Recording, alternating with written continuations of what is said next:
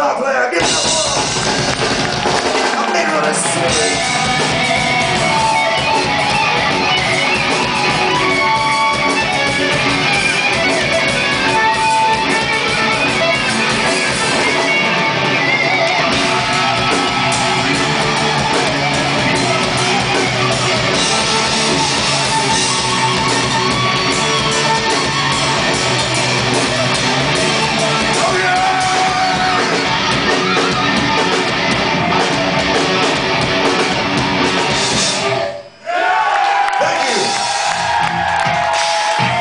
Thank you. Thank so much.